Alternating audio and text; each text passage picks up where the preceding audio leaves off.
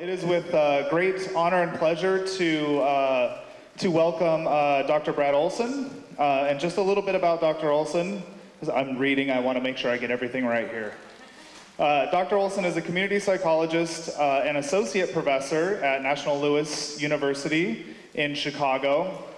And he's been involved in the struggle within, within psychology specifically and the American Psychological Association, or the APA, um, around the issue of torture and interrogation for the last 10 years. Um, Dr. Olson co founded the Coalition for an Ethical Psychology and has been president of Psychologists for Social Responsibility, the Peace Psychology Division of the APA, and the chair of Divisions for Social Justice, a collection of 12 divisions of the APA.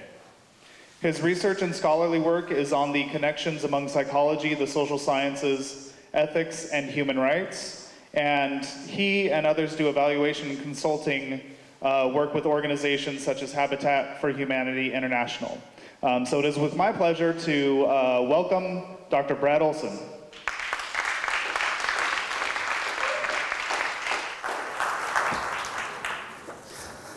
Thank, thanks so much, everyone. Is this on? Oh, yeah. Yeah, okay.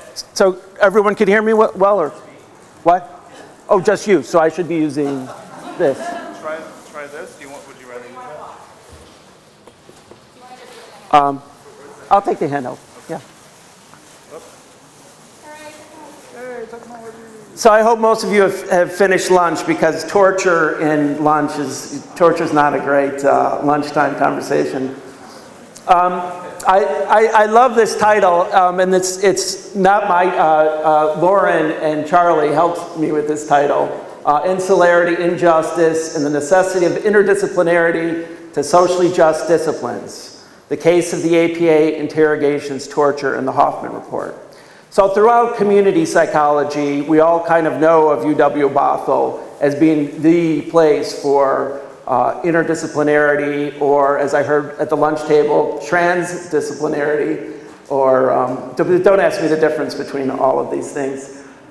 But um, this, is, uh, this is not a research project. It's more of, of uh, quite a few of us psychologists coming into uh, realizing that we're also activists. And I think from a community psychology perspective, I mean, even earlier this morning, I, I heard uh, great conversations about the student protests here and, and um, all the good things that are happening. So um, I'm going to kind of tell it a, a little bit more as a narrative, but all of this work that I sort of accidentally got into and my close colleagues accidentally got into, we, we, we, we, we were really sort of dragged into it because we were so angry at what our discipline was doing. So we really felt like they're not going to do this to psychology. But the more I've thought about this work, working on this issue for over 10 years, I thought, what's different about some of us who are working on one side of the issue versus those who are working on the other side of the issue? And my hypothesis, one hypothesis, is that a lot of us who are more on the social justice side of things, that we think more about history. We think more about the risk that the US could get into uh, in terms of becoming a future Nazi Germany. We um, think about politics. And I think, I think part of the problem with uh, an insular field like psychology often can be is, is traditional psychologists get this training training, training to think about individuals. And it's sometimes hard to break out and see the bigger picture. And I think that insularity leads them into a path that is basically, um, well, you'll hear the story here if, if, um, if, if you don't know about it already. Um, but first, I wanted to, just from a community psychology perspective, what, what is community psychology? And, and, and I, I think community psychology, I mean, one of its most important principles is uh, interdisciplinary, that we embrace all kinds of different fields.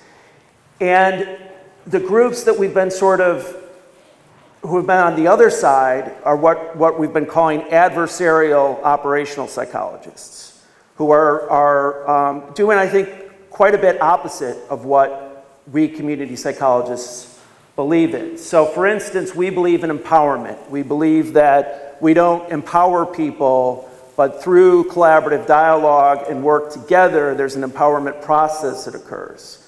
We're about sense of community. And a lot of what the adversarial operational psychologists got into was we are actually going to disempower people. We are going to engage in learned helplessness and focus on that target and try to break that target down, try to wreck any sort of sense of community and, and feeling of social support.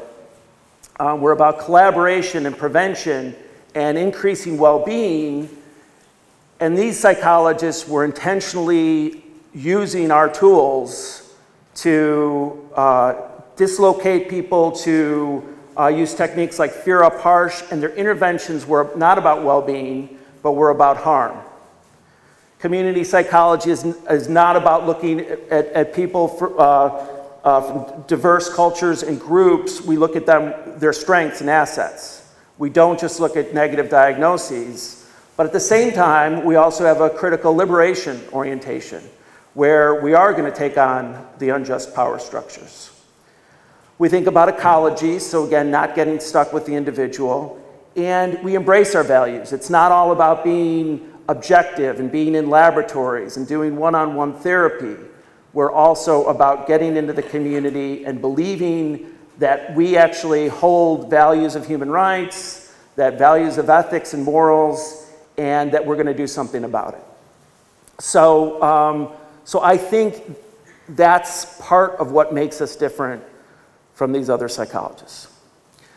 So, just looking historically, we all know after 9 11, uh, the nation changed permanently. Um, and some, some of us say it, it didn't change at all. Uh, but we know Abu Ghraib, um, Guantanamo Bay, the CIA black sites in places like Thailand and Poland, uh, torture was going on. And um, part of what my colleagues and I did when uh, we started to pay attention to all these issues is we, we started trying to uh, investigate what's, what's happening and what are psychologists doing. And in cases of CIA waterboarding, uh, we eventually found documents that showed that in every case of CIA waterboarding, a psychologist had to be present. And the reason psychologists had to be present was because of the laws around what is torture. That, that the Bush administration, the Yoo-Bybee memos, set up basically saying that if it's only torture if post-traumatic stress disorder is developed. So if you have a psychologist who's there and saying, okay, stop, because if you go further, you're, you're going to create PTSD, then uh, they could always stay within that line of torture, even though, of course, we know that's um, completely false. But, but that was the sort of legitimization process that the, the, the role that the psychologist played. It wasn't even that they needed the psychologist. They did use psychologists for other ways to get information. But um, psychologists were also just defending unjust policies. So around this time, uh, I mean, the US has always been engaged in torture uh, through the CIA in hidden ways, um, but this was the first time that it was sort of becoming uh, acceptable. And the idea that physical torture would leave marks, but that psychological torture is invisible, and therefore uh, if, if they engaged in it, they could get away, away with it. So the American Medical Association and the American Psychiatric Association said uh, physicians and, and psychiatrists have no place in interrogations, national security interrogations. But what the APA has always been about since World War II is competing with psychiatry. So they have a big effort to get psychologists uh, to be able to give prescription privileges. Seymour Sarason, the, the community psychologist, said psychology has always been the handmaiden of psychiatry. And so part of the problem with the American Psychological Association is they always want to compete and try to gain advantage over psychiatry. And they saw this as an opportunity. The Department of Defense, the CIA, post 9 11, had all kinds of money and all kinds of power. So the more that psychology could be in line with the CIA and with the Department of Defense, the better. Um, so the American Psychological Association came up with the, what's called the PENS Task Force, which was a task force to examine the ethics of interrogation. And so I was a chair of this Divisions for Social Justice that Charlie mentioned at the time. And then we heard about this task force and we looked at the composition of the task force, which uh, we only found um, through looking through internet channels that were very, very difficult to find. And, and it was the majority of the task force was made up of uh, military members who we later realized were in the exact chain of command in places where the torture was occurring. So um, to, to jump to the future, to jump to today, I'll, get, I'll talk a little bit about the Hoffman Report.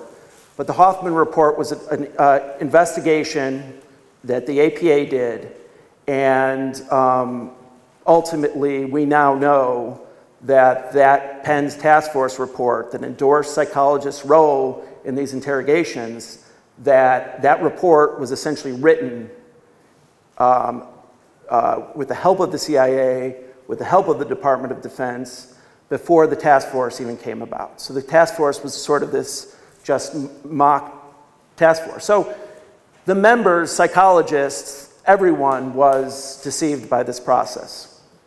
So um, let me just say a little bit more about what the psychologists were supposedly doing.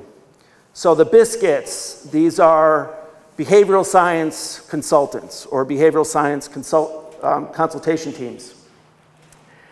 Their jobs at places like Guantanamo Bay was to guide the interrogations, locate vulnerabilities in detainees, and strategize techniques to gain information.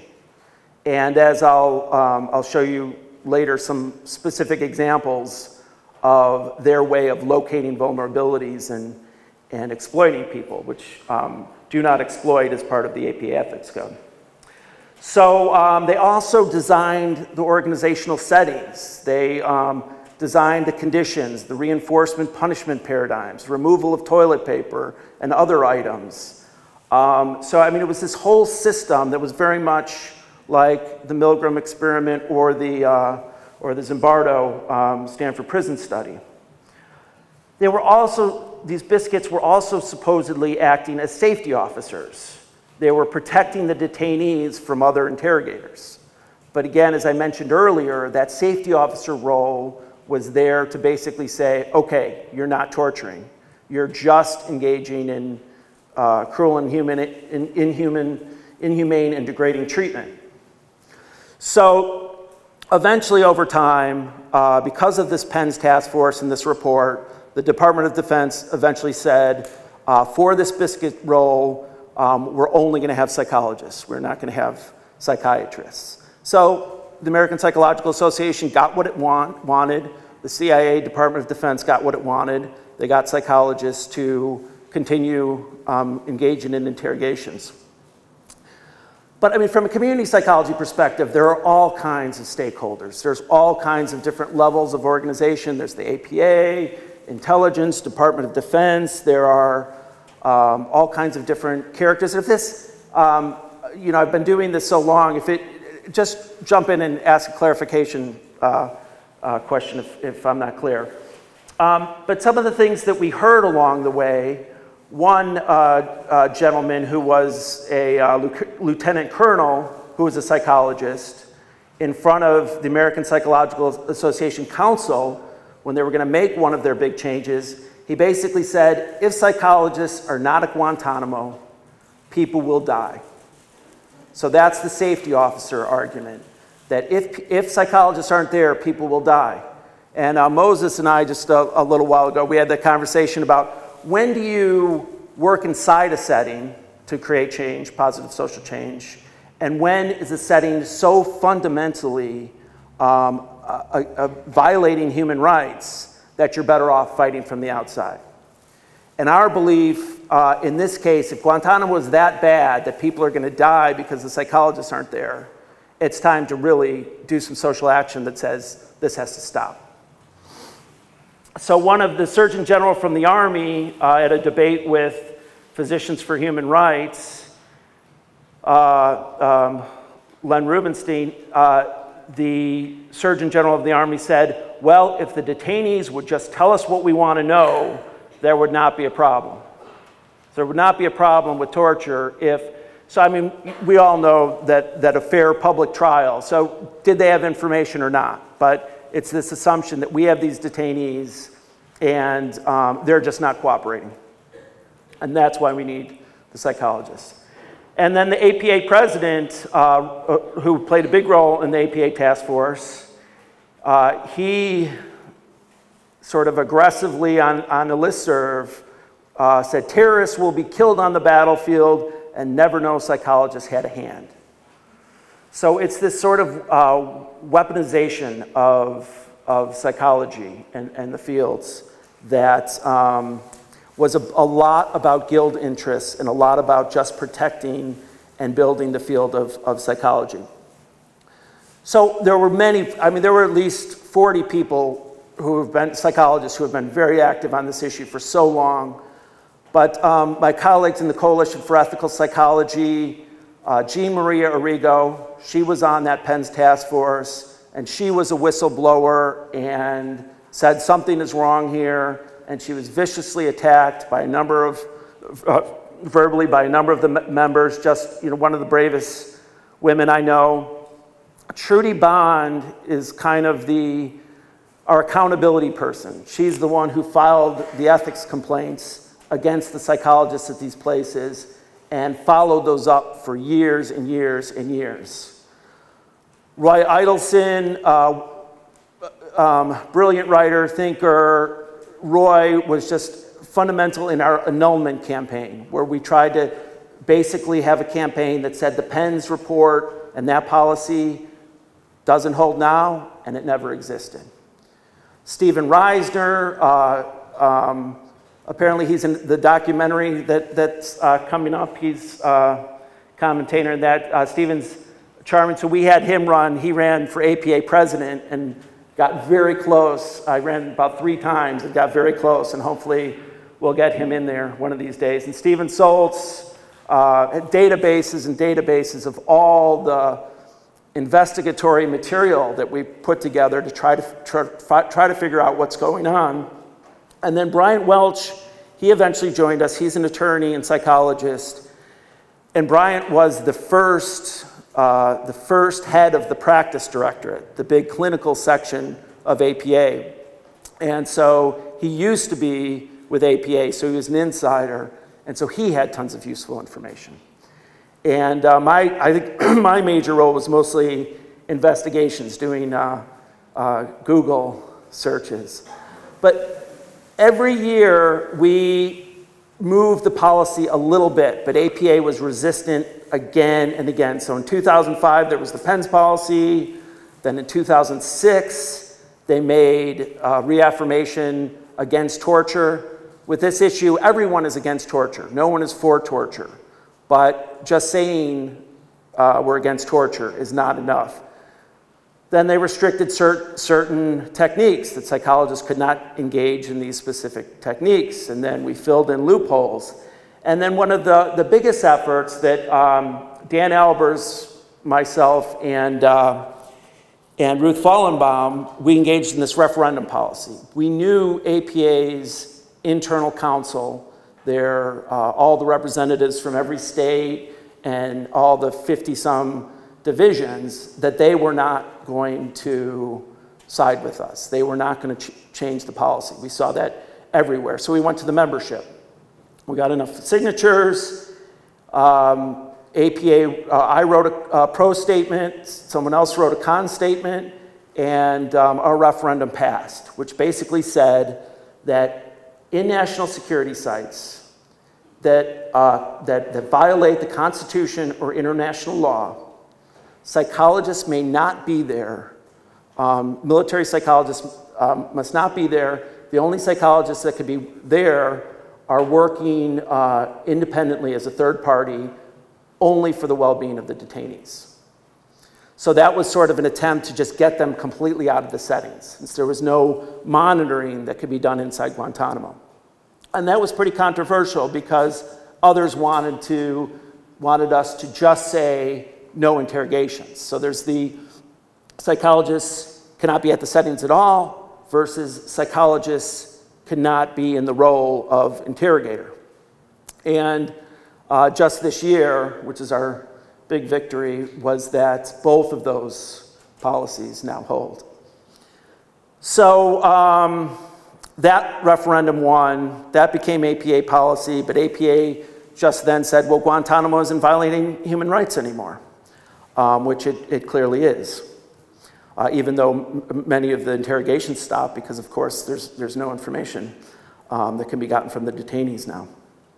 Um, and I'll, we, we also did state legislative efforts. We changed a loophole in the ethics code that basically said this uh, 1.02, the standard 1.02 basically said that if there's a conflict between the ethics code and the law or a, a law or a governing authority, that the psychologist may follow the law or governing authority. And so um, this was basically if the Department of Defense is saying, no, you have to do this, that's our rules, they would have to abandon their ethics code. So we uh, changed that section of the policy to say, um, uh, except in no circumstances may you follow uh, this law or governing authority um, if it's in violation of human rights. So, and then we've tried to uh, change some uh, state level legislation to try and um, ensure that if, if people who engaged in torture came back to their state and wanted to have a clinical license that they could not get it. Um, I told you about, a little bit about the annulment of PENS. And then uh, things started to change when, again, through investigations, I'll tell you a little bit more about that later, but essentially, um, we found some really good information, brought it to Jim Risen, uh, Pulitzer Prize winner of the New York Times, and he published uh, this piece, and he has a, a, chapter in his book on this issue where he really takes on APA. And that's when the APA, the APA started to go after Risen and contradict him, and he went back after them, and that's when they hired this independent investigator um, David Hoffman uh, from Chicago. And, uh, and that's the Hoffman report. That's a 500, I think, 40 page report some of you may know about. Okay, so um, kind of going back in a time, this is, this is what the APA Ethics Office and the presidents were saying about accountability. Uh, so the APA president says, APA has taken a very strong stance against torture, so on and so on. If anyone is able to identify APA members who are involved, we will take disciplinary action. And we did have APA members who were clearly, clear documentation that they were involved and they didn't act. Um, so the president also says, I've asked for names so that APA can investigate its members. No names have ever been forthcoming. We gave them names, the names and the evidence hundreds of times, particularly Trudy Bond the head of the ethics office, who ends up being the real villain in the Hoffman report, says, When we have the facts, we will act on them. If an APA member, we will address violations directly and clearly. Now, they knew James Mitchell, uh, the architect of the CIA torture program in the CIA black sites in, in, uh, in Thailand, that, and some of you might have heard recently on the news that he's being sued by the ACLU and some of the detainees um, he was an APA member until 2006, and the head of the ethics office knew that and, and never acted on, uh, on any, any complaint. So another, another figure along with uh, James Mitchell was uh, John Leso, who was at Guantanamo Bay, and he was a biscuit. And we had the logs, uh, the research, the descriptions of the torture, the interrogations, where um, this figure, Al Qahtani, this individual, was really um, psychologically abused consistently. Fear up harsh, I mean, times where he was just uh, breaking down, crying, you know, and just showing all sorts of symptoms of mental illness and, uh, and just um, absolutely psychologically breaking down. And yet the biscuit says, um, keep going. So Leso also devised this memo along with this psychiatrist uh, that he was, Leso was against the physical techniques. He was for the psychological techniques. So strict isolation for 30 days. If you can, you know, the thinking was that if someone gets that alone and alienated, they're going to want to talk to the interrogators. Removal of all comfort items, exposures to extreme temperatures, cold weather and water, scenarios of making detainee think he would experience painful or fatal outcomes. So even the con convening authority at Guantanamo, uh, the military commissions, the head said the interrogation of Al-Qahtani uh, clearly met the legal definition of torture. And she would not even um, prosecute the case because it was so clear. Um, so his interrogation, uh, all aspects of detention conditions should enhance, capture, shock, dislocate expectations, foster dependence, and support exploitation to the fullest extent possible. So given our ethics code of do no harm, of uh, beneficence, of uh, don't exploit, um, this is what was happening. Stripped, standing naked with female interrogators, um, forcing the detainee to perform dog tricks, and terrorized by military dogs. So the head of the ethics office delayed after Trudy Bond and others submitted uh, these complaints. It was six years later, supposedly because the ethics director wanted more information to come out. After six years, uh, just last year, I believe, um, the case was closed because there was not preponderance of evidence, despite all of this, despite the logs. And so he never even sent it to the whole ethics committee. He and the chair decided, um, nope, case was never opened. But that's where some of our, oh, I call it investigative psychology, but it's really investigative journalism. Uh, we were persistent. And so I was, this was very early on. We were working with an, uh, a writer from Vanity Fair who was writing on the topic. And I was looking at uh, RAND Corporation. RAND Corporation does all kinds of good substance abuse and other evaluation studies. And RAND um, had this very kind of sort of dark uh, detention, Guantanamo type study. And I called someone up I knew who was a substance abuse researcher. And I said, what is this? Is Rand doing this type of work? And he's like, oh yeah, I don't even, you know, I don't, I don't even go down that side of the hall because it's, uh, it's so creepy. It seems like Holocaust type stuff. And he's like, but I know a guy who works over there. Do you want to call him? And so I got his phone number. His name was Scott Gerwehr. And I mean, this was a very manic, enthusiastic guy throwing uh, intro to psychology ideas about how to make Guantanamo better. And so, very talkative. Eventually, um, I passed him over to one of our Physicians for Human Rights colleagues. And um, then on uh, a Hollywood freeway, he was, uh, LA freeway, he was uh, hit by a dump truck on his motorcycle. And, um, and so he died, and our Physicians for Human Rights colleague uh, talked to his, um, his partner, his widow then, and uh, got his emails. Um, and that's when we saw uh, Gerwehr was part of uh, the American Psychological, they had conferences with the CIA on deception, on um, when can psychologists or clinical psychologists, when can they report terrorism? What type of, uh, what type of drugs? Are there any true serums out there? Um, Scott Gerwehr was a big part of those setting up those conferences. And so we saw from the inside for the first time that all of the things that we suspected were true. So some of the things that we found out, one APA official who was very high up in the science directorate said to a CIA psychologist who had clearly been working with them before this PENS ever occurred, he said, APA grabbed the bull by the horns and released this PENS task force report today. I also wanted to semi publicly acknowledge your personal contribution in getting this effort off the ground over a year ago. So the CIA figure uh, ended up getting the PENS task force off the ground.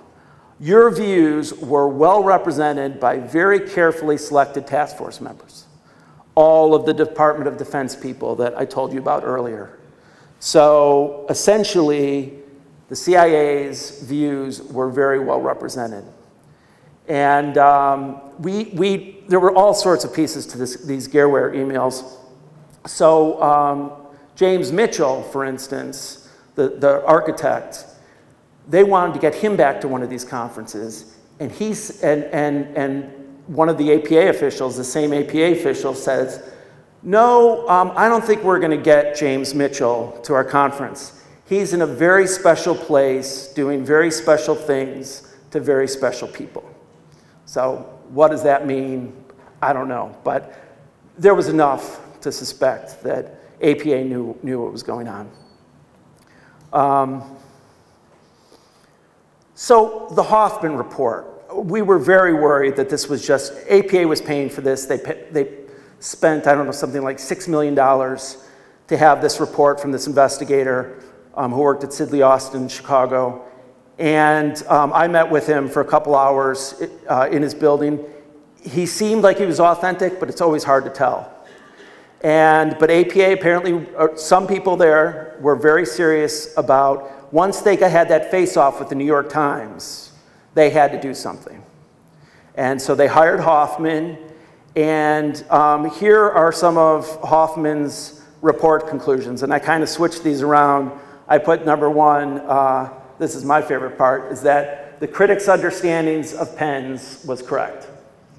So um, that felt very good. There's other things that he disagreed with us on. So, for instance, we had that CIA evidence. He didn't see anything in that CIA evidence.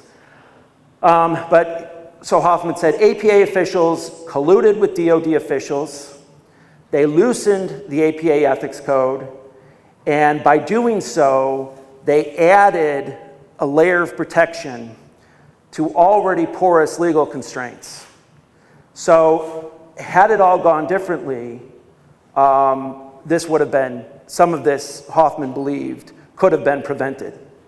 So psychologists would have had, had a more difficult time harming the detainees if the ethics director, the president, uh, one of the biggest conflicts of interest was that the head of the, the practice directorate. At this, there was this debate between Kevin Kiley, the Surgeon General, and Len Rubenstein. And I went up to the Surgeon General of the Army afterwards, and I said, Yeah, what do you think about these biscuits? And he's like, Oh, uh, this one, yeah, I just talked to this one Dunivin. They're, they're great. And so I wrote down that name, Dunivin, and just kind of talked about it because finally we had a name of a biscuit. Turns out she's married to, uh, was married to the head of the practice directorate who had a huge influence on the PENS task force.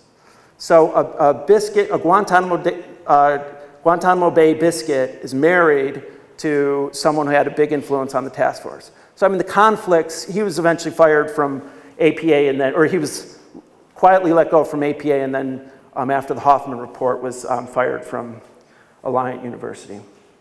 Um, so, but uh, given the collusion, psychologists, APA's actions allowed psychologists to use their skills to do harm.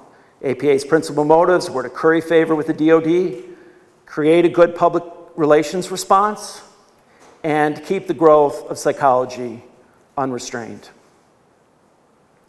So it was, it's power, greed, money, I mean, nothing we should be too surprised about.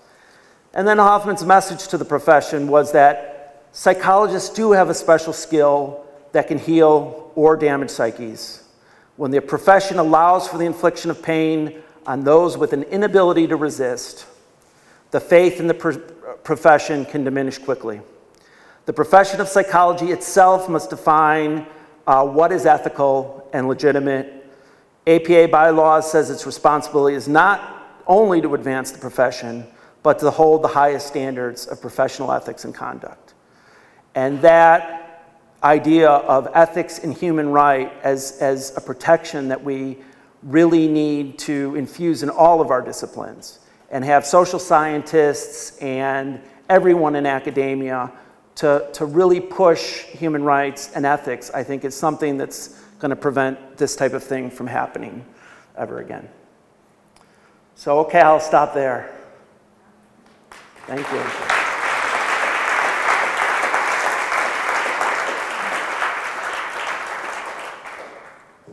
So we can open it up to the floor. We have some time for questions. Um, so if anybody has any questions uh, that you're interested in asking uh, Dr. Olson, now is the time. So raise your hand and I can come over with a mic to you.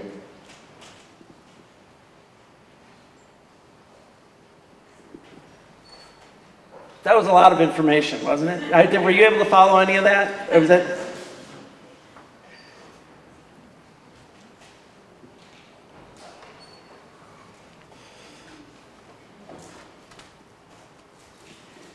Thanks. I, I, I know many of us probably really appreciate just knowing the history of what took place here and how, especially how hard it was for you to dig it up. Can you give me just a little more detail on exactly what happened with the senior leadership of the APA? Uh, I know there was turnover, and what, what was the turnover and what was the link to this? Sure. So, so after the Hoffman report came out, um, the APA, I mean, we thought, wow, we finally won. We, we've got these policies passed. The American Psychological Association is going to change. And there was some, some small change. So the ethics director, who was the real villain in the, Penn, uh, the, the Hoffman report, he was fired. The CEO uh, retired early. The head of the science directorate uh, uh, left as soon as the Hoffman report was um, was, was started. And then, um, and one of the uh, public relations person also retired early. So um, there was a lot of turnover, but these are um, psychological cultures of these organizations do not change easily. And so, um, I mean, a lot of ways, this is really just beginning. We're seeing so much, so many signs of backsliding and uh, and just suspicious new new policies that uh, that looks like it's going to go on for much longer. So um, I was going to ask, uh, with regards to the uh, to the structure, you know, how bureaucratic it is and how it's set up. Uh, it, it, it appears like this was one of the issues, you know, like what, given uh, uh, the, the, the, bureaucratic nature of the CIA and how it's governed. Uh, what is the ultimate goal, I would say, of the uh, human rights activists? What, what should they hope for yeah. in a system like that? Yeah. You know, um, well, there's there's a lot of a, a, lot of answers to that question. So so what are our next steps, and how are we going to take this beyond the American Psychological Association. So, so we'll still be working to change the American Psychological Association and psychology.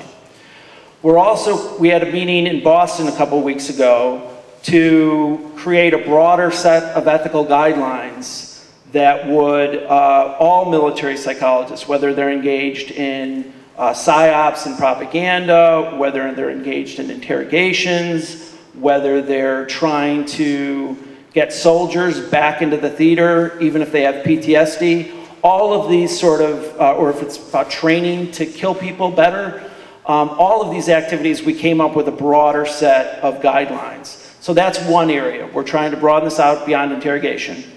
Um, but the CIA and their sort of culture and mission is much different than Department of Defense. So the CIA structure is um, there's there, in, in, the military, there's a lot of honor and ethics, and, and, and um, so uh, one, of, one of the persons at the conference, we brought together military, CIA people, and some of the dissidents on this APA piece. And, um, and our uh, one guy who, was, who leaked information, John Kiriakou, CIA, former CIA, he basically said, oh yeah, we need psychologists because uh, you guys have an ethical code. We don't, the CIA, we don't have ethics. So um, the CIA is going to be tougher to change. Um, but of course, the Department of Defense will be tough to change too. But we're thinking that there are some possibilities to allow psychologists to follow their ethics code, to um, be able to say no within the military and be independent health providers or whatever their role is.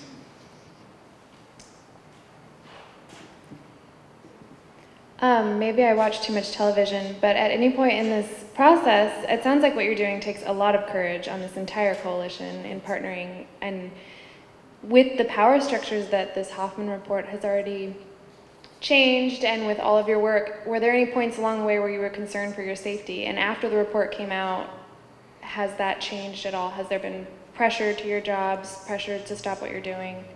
Well, uh, uh, very early on, we were, we were a little bit worried about our safety, we were kind of like, you know, um, uh, eventually we kind of all, the coalition members all together said, okay, you know what, we're just, you know, we're not, we're not going to worry about our safety.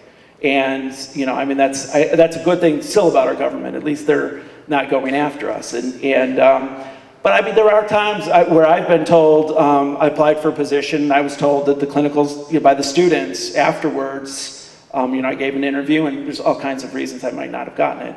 But you know, it clearly came out that the clinical psychologist said that this is too risky. We um, to hire him. We have our APA accreditation needs, and if he's causing problems with the APA, you know, that's going to be trouble. So, and I've heard that at a, heard that at a couple schools, but eventually found my way to my favorite place in the world. So, um, but yeah, no, I, uh, um, I mean, there's always that decision about risk. And, uh, but it's also so fun, kind of uh, working with your friends and, uh, and, and, investigating this and, and uh, pulling apart the, you know, looking at the puzzle pieces. But thanks, yeah. My question actually is related to what you just said as someone who's been affiliated with APA training programs, whether it's internship or doctoral programs.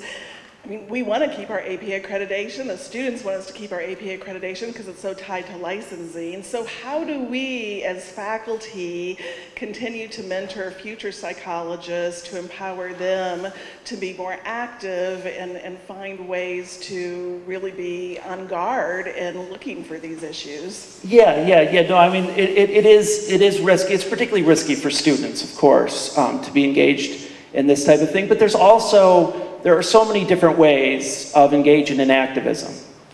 And we, one thing, Jean Maria Arrigo, uh, the rest of us were always to have like this huge sarcasm in all of our open policy statements. And she'd be like, take out the sarcasm.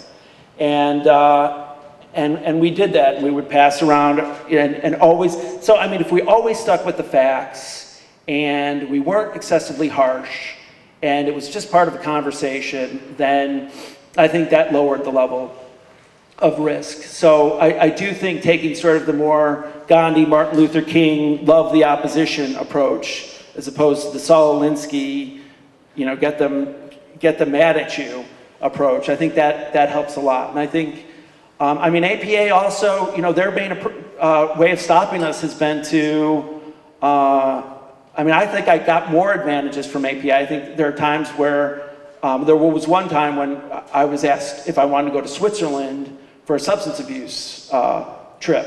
Um, I was asked by the science directorate. Um, and it seemed like, are they trying to buy me off? And then um, I said no to that one, but then I did go to one to meet the drug czar and represent APA. I still, I'm not an APA member, but I still work with APA and go and with APA events, and I think their public interest directorate does wonderful things. So it's also about, you know, not all of APA is bad, and not certainly not all of psychology is bad. Um, but it, those are tough decisions, absolutely. Hi.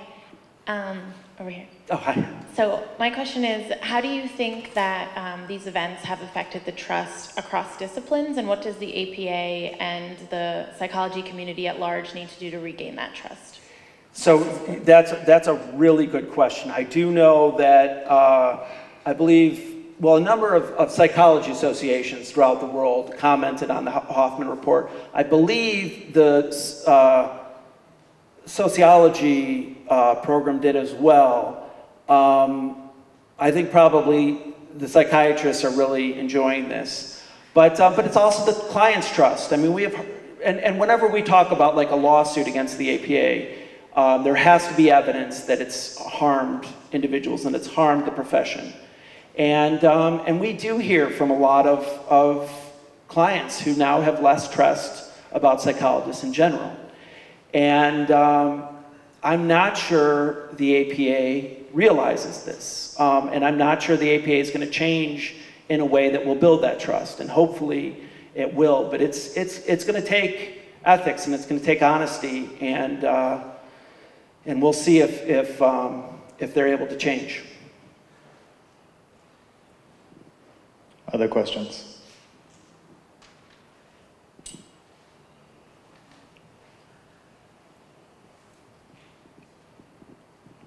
Hi there. I just had uh, one, probably not too quick of a question for you. I was just curious if you have any advice for graduate students, undergrad students, or new psychologists in how to face this issue across our discipline and how to comport ourselves anew. I think the will to knowledge has just been blind in and of itself, and I'm thinking now there's a new call for um, sort of a meta ethical critique of our discipline itself. And how do we do that, and through what channels do we do that? Because I'm not totally sure that publishing in high impact journals is the way to go. So I'm just curious if you have any advice for us. Yeah, I mean, I would, I, I have learned from, I mean, I still like to, to publish in journals occasionally. Um, but, but the importance of, of blogs and letters and listserv conversations and um, other modes of communication, I think can really have a bigger impact than, um, than the, the, the journal article.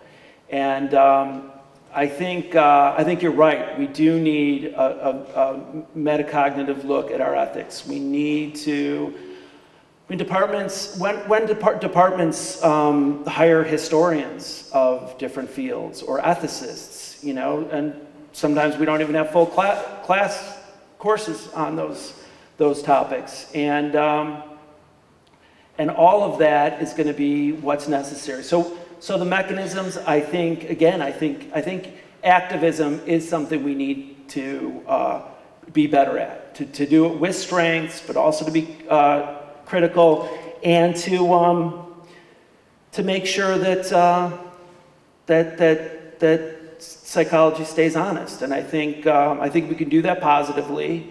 I think we can use their rules, their ethical rules, their bylaws, to, to keep people to, to holding to their original mission. So that's, that's the hope. Other questions?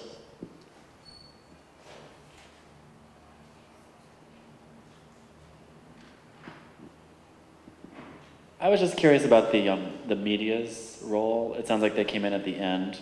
Um, as the fourth estate, they're supposed to be t- sort of protecting us. Um, do you think they did enough for this issue? Were they there from the beginning, or it was only when they were alerted that it became an Uh, issue? So, so they did come in occasionally, smaller writers, um, uh, um, Vanity Fair, we had, we had a big success with, with them. Um, but they, I mean, they are going after what they think is strategic.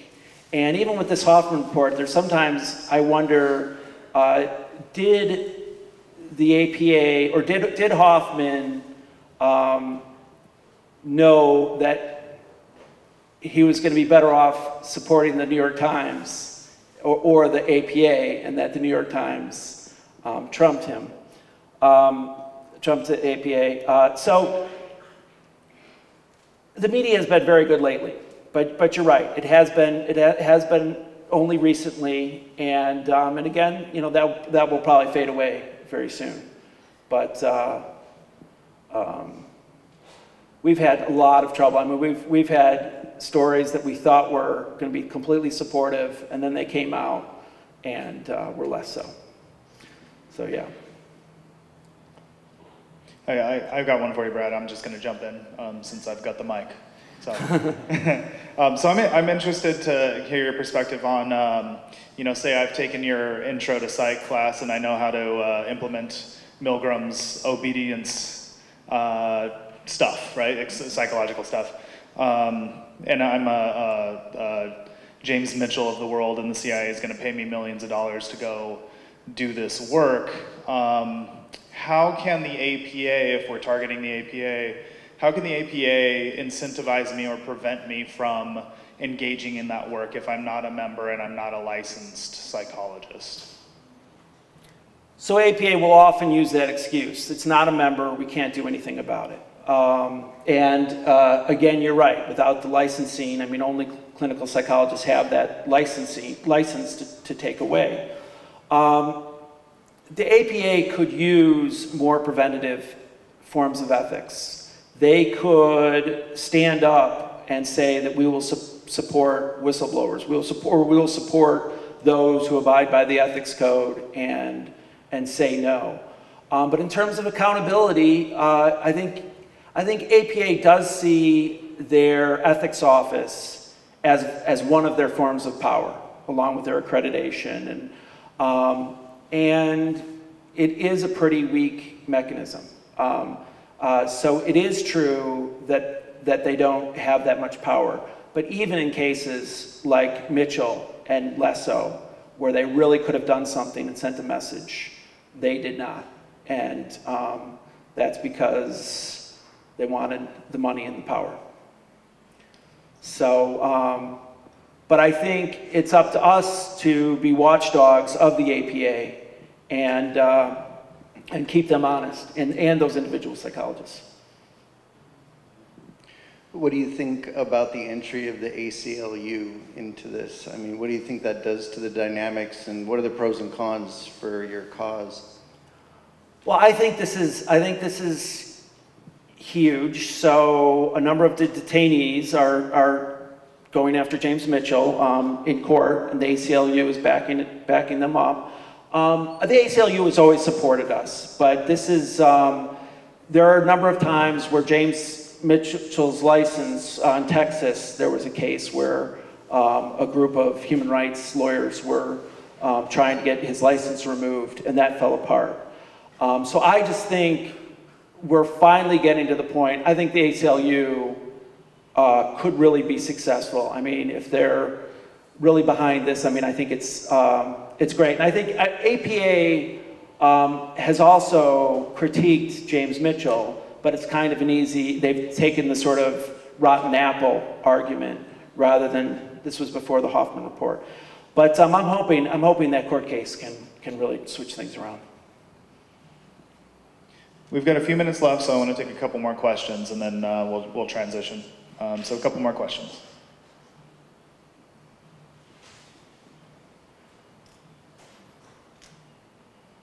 Charlie right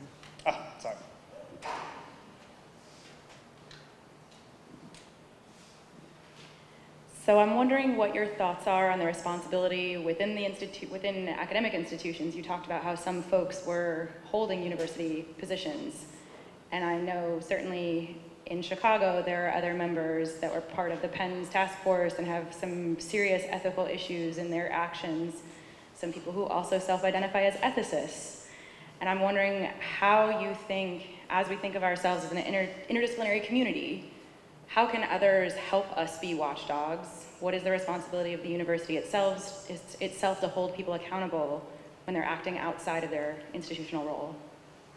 That's right. So, so the, the, the dean of DePaul University, some of the APA quotes of the APA president that I gave you earlier, he is now at DePaul University as a dean. And uh, the students caught wind of this. The DePaulia magazine, uh, their, their newspaper has caught wind of this. And uh, the, our coalition actually, when uh, this individual was going to be hired, we heard that he was interviewing at DePaul. and we wrote a five-page document saying this is against, I went to DePaul's, this was against Vincentian values, um, his, his actions. Here, here was his actions. They hired him anyways. But now after the Hoffman report, there's 70 some mentions of this uh, dean in there. And um, so I've been in Chicago, been meeting with the student activists, and uh, we've been um, strategizing. And, and the president of the university just yesterday sent out a message saying that uh, he is behind the dean. Uh, he admitted to um, uh, bad behavior of the dean. He admitted to uh, but he basically came up with the argument that, that St. Vincent de Paul was very much an activist and critiqued some other um, bishops. And, uh, but when, they, when those bishops were punished or censured, um, St. Vincent de Paul said, uh, um, I don't like that. And so he says, we're going to do that with the dean. We're, um, mistakes have been made, um, and, and I just, I do not buy that argument. But I mean, it has been, I don't, the faculty is not going to give up. It's been the psychology people who have been the biggest defender of the dean, and it's been people from English and political science and sociology and philosophy, the faculty members and students, who have really been standing up and saying, no, we need, we need to really focus on this. So that's another battle that's going to be going on. But I do think, you know, I, I feel forgiveness. I never like the idea of people getting fired. But I mean, honestly, there does need to sometimes be some accountability. And um, I mean, that's a really tough one, but it's important and it's all of our responsibilities. We'll uh, take one more question.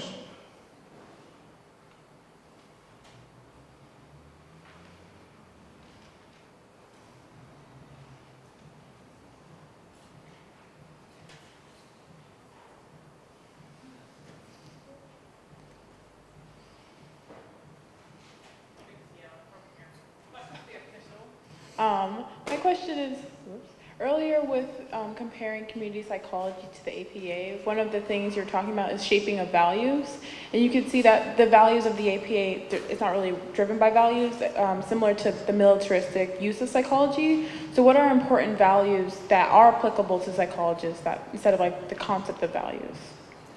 So, um, yeah, I mean, you know, I think community psychology is exact because APA has been pretty value free, uh, uh, certainly on this issue. I think community psychology essentially was a rejection of typical traditional psychology. We need, you know, if we only did one-on-one uh, therapy, we're not going to really um, put a dent in all the problems people are facing. If we just stay in the laboratory and we don't get out in the community, um, that, that too is a disaster. So community psychology basically said, we're going to do something completely different. So, um, and I, I think all of the principles of community psychology are, are very alternative to the APA, where the APA people are going. So rather than, I mean, in the 60s, we rejected psychology. Now I think we as community psychologists need to shape just like you're saying, we need to shape psychology itself in the form of community psychology. I mean, that, that would be my big hope.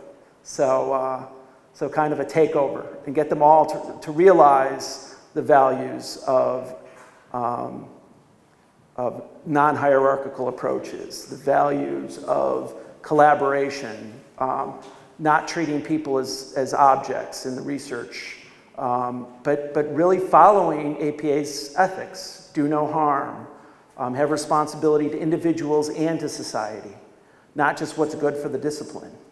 And I think the more we can do that in all of our disciplines, the more we're going to help bring about a, a, a better socially just world. So thanks, sir. Thanks, everyone. Thanks so much.